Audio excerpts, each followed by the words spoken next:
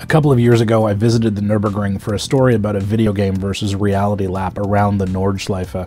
That story still lives on the web at the links below, but here you can enjoy my third and final lap of the infamous Green Hell.